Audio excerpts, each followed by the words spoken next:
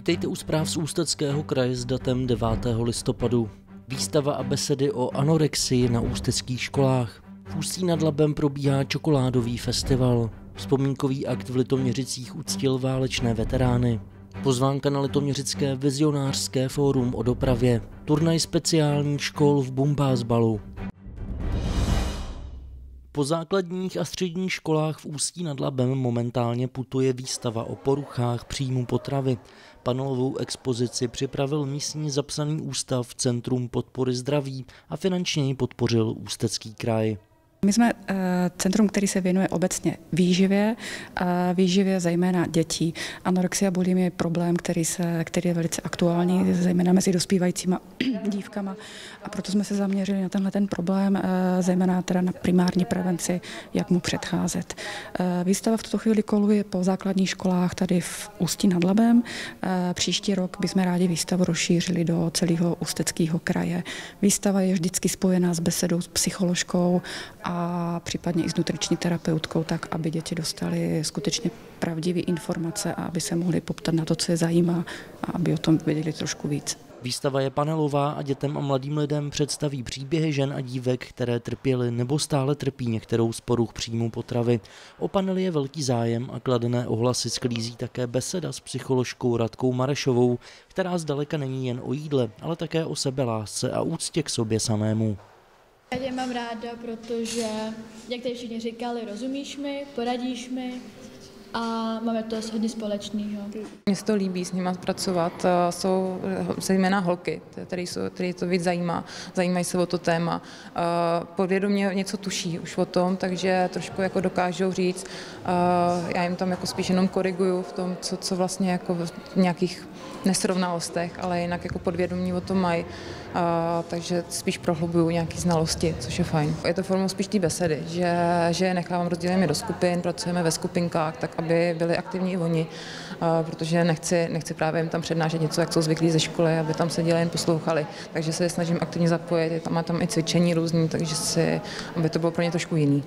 Výstava má u dívek velmi kladnou odezvu. Kdyby moje kamarádka byla anorektička, tak aspoň vím, jak jí můžu pomoct, říct tím rodičům, že mají, kdyby si toho nevšimli, takže mají dceru anorektičku a takhle, aby jí mohli pomoct. Mně přijde, že je to jakoby, že by se to mělo víc dělat, aby to prostě ty holky věděli, že prostě to není jenom, že zhubnou, ale že už pak prostě je to vážný a že by na to fakt jako mohli umřít. A... Holkám, který vlastně, který trpí tu anorexii, takže by se vlastně měli uvědomit, co vlastně dělají. Kdyby viděli tohle tu výstavu, takže by si podle mě uvědomili, co dělali a co dělají prostě se svým životem a že to není dobrý. To je úplně hrozný, že skrz toho, že holky si neuvědomují toho, že jsou úplně hubený a přitom to nemají vůbec co řešit jako váhu, tady to mají se brát takový, jaký jsou a ne prostě, že jim někdo řekne, jsi hubená nebo jsi tlustá. Každý bychom se měl uvědomit, že jsme každý krásný a neměli bychom to brát až tak vážně. Přestože anorexie a bulimie jsou poruchy spíše blízké ženám a dívkám, Radka Marešová na školách beseduje i s chlapci. Probírá s nimi především chorobnou posedlost svaly a cvičením, takzvanou bigorexii. Obecně to téma produkční potravy je pro kluky hodně vzdálený, nebo je to taky tak, že se musím nějak jako namotivovat na to, aby se to vůbec mě zajímalo, aby se o ty zajímali, o ty témata. Takže uh, jsem odprostila trochu od anorexie a bulimie, kde, kde jim vždycky jenom vysvětlím, co to je, ale moc s nimi o tom nedebatuju a více zabýváme bigorexí, steroidama, dopingem a tady těma věcmi, které jsou chlapům bližší. Výstava o anorexii a bulimii Ústeckého centra podpory zdraví bude během příštího roku putovat po celém Ústeckém kraji.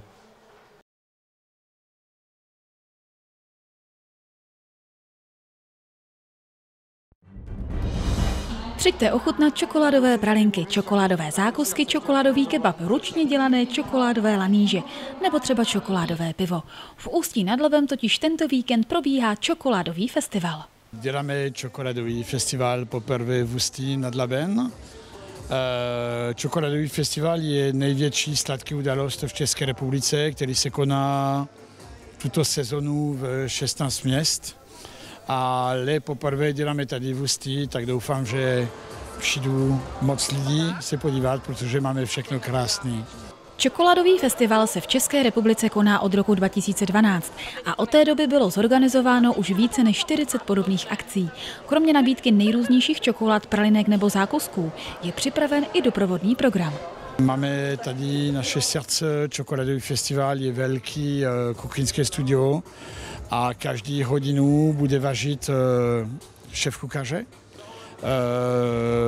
maso z čokoládu, nebo děti bude tam učit dělat nějaký čokoládový brownies.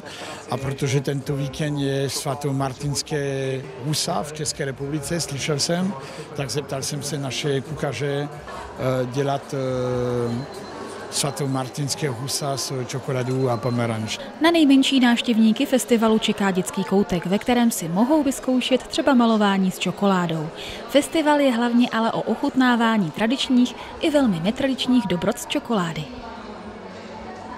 Tak je to speciální italská pochoutka, která pochází z oblasti Piemonte a je to lískouříšková čokoláda s bílou čokoládou a je udělaná ve speciální pitě. E, ta e, čokoláda vlastně je podobná hodně Nutelle čokoládě, jenom s tím rozdílem, že ty oříšky, které jsou použity zde, jsou jenom piemonský, z piemonské oblasti, to znamená opravdu top oříšky a je jich tam trošku víc než to asi dvojnásobek. A ta pita je udělaná speciálně právě pro tu čokoládu, aby takové té čokolády nezanikla v nějaké sladké palačince, ale byla zvýrazněna. A základem toho těsta je mandlovo-citronová mouka. My máme tady nějaký netradiční čokoládu, můžeme tady najít nějaký uh pralinka s pepřem, s rozmarín, s medem. Jo, máme strašně moc, moc možností tady dělat, e, e, najít čokoládu, který nemůžete vidět e, někam jinam. Festival probíhá od pátku do neděle. V pátek od 14 do 18 hodin, v sobotu ho můžete navštívit od 10 do 18 hodin a v neděli bude kulturní středisko v Ústí nad Labem otevřené od 10 do 17 hodin. Pro regionální televizi Ústecko Renáta Valešová. K uctění památky válečných veteránů se dnes sešli zástupci armády České republiky, Konfederace politických vězňů, Československé obce legionářské a města Litoměřice v areálu bývalých kasáren pod Radobílem.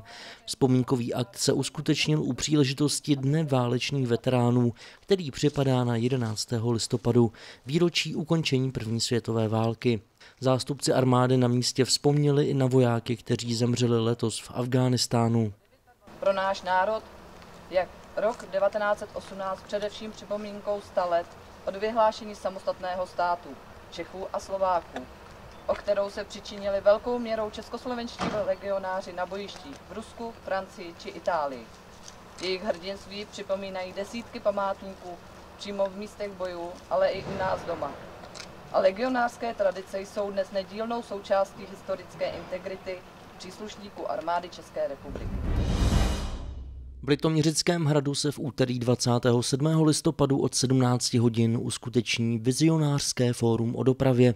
Kulatý stůl města je přístupný všem občanům a lidem, kterým není lhostejná budoucnost a dopravní situace Litoměřic. Na této akci bychom rádi takovou interaktivní formou eh, hledali se všemi účastníky eh, vizi nebo cestu, jakým způsobem eh, by se měla rozvíjet doprava v Litoměřicích, kam vůbec chceme dojít, jaké chceme, aby vypadaly veřejné prostory, které druhy dopravy chceme, chceme rozvíjet a podobně. V Litoměřicích připravujeme plán udržitelné městské mobility. Je to strategický dokument, dlouhodobý dokument, který by měl stanovit priority eh, v dopravě, které eh, bude město rozvíjet.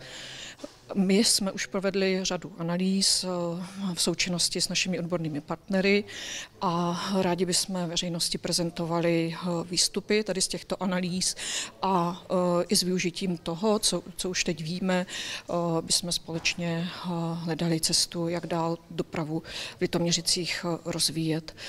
Budeme hledat, diskutovat o tom, jaké Litoměřice chceme být, jak vlastně doprava utváří ovlivňuje náš život a utváří veřejné prostory. Během akce dojde k předání cen a vyhodnocení soutěže pro školy o výtvarné zpracování na téma Litoměřice 2050 Moje představa o dopravě.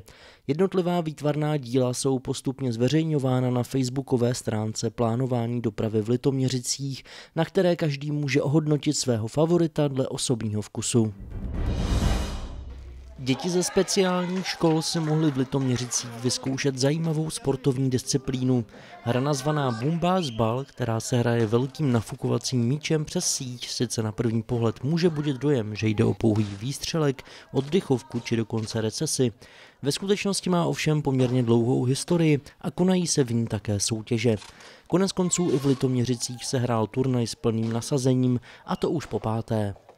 Je to krajská soutěž speciálních škol pod záštitou odboru školství Krajského úřadu Ústeckého kraje. V letošním, v letošním turnaji se nám sjelo šest družstev z regionu.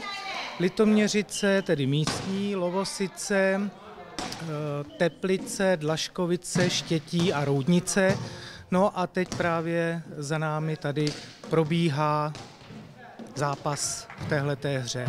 Pravidla jsou podobná, jako jsou u volejbalu. Hraje se do 15 bodů a vlastně vyhrává teda to družstvo, které první dosáhne tento počet. Já se ještě vrátím k tomu, jak eh, ten sport vlastně vznikl. Tak propagátorem byl v čes, tehdejším Československu sám Emil Zátopek, který eh, tomu dal název Plácanda a vlastně do dnešní podoby se to teda rozvíjí v této, v této fázi. V každém případě eh, je to sport, který je výhodný a vhodný pro zdravotně postižené, neboť vlastně tady, jak je vidět i ze záběru, tak eh, se smazávají jakékoliv rozdíly, eh, nějaké, nějaké handicapy a podobně. Eh, až se dohrajou zápasy ve skupinách, tak potom nastane semifinále a, eh, a finále a bude určen vítěz. Propagátoři Bumbác balu by rádi v Ústeckém kraji zapojili do soutěží co nejvíce škol. Zatím se ale jedná o běh na dlouhou trať.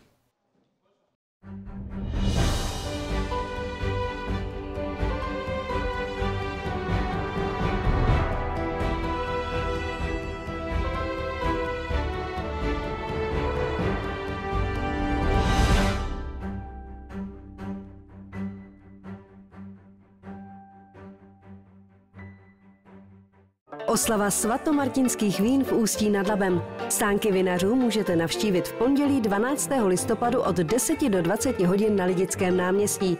Po celou dobu akce budou probíhat ochutnávky i prodej vín. Samozřejmě nebude chybět cymbálovka. Nezapomeňte, 12. listopadu oslava svatomartinských vín v Ústí nad Labem na Lidickém náměstí.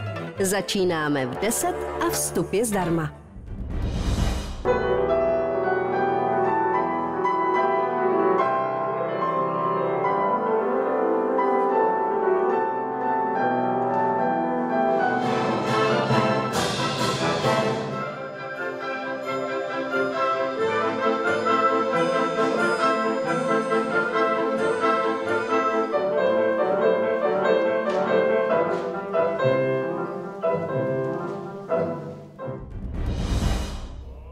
V neděli 2. prosince rozezní kostel všech svatých v Litoměřicích krásná hudba v podání významných umělců. Združení Muzika et Education totiž na tento den od 16 hodin naplánovalo další ročník adventního benefičního koncertu pro nevidomé děti na podporu hmatově ilustrovaných knížek. Sváteční písně Bizeta, Pučíneho, Beethovena, Chopina a dalších velikánů světové hudby, ale i lidové písně zaspívají pěvci světového formátu, mecosopranistka Ester Pavlů a tenor tenorista Jakub Pustina.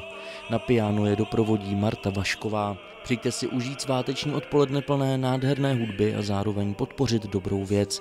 Vstupenky jsou již v prodeji v síti městských kulturních zařízení Litoměřice nebo online na vstupenky.mkz.ltm.cz.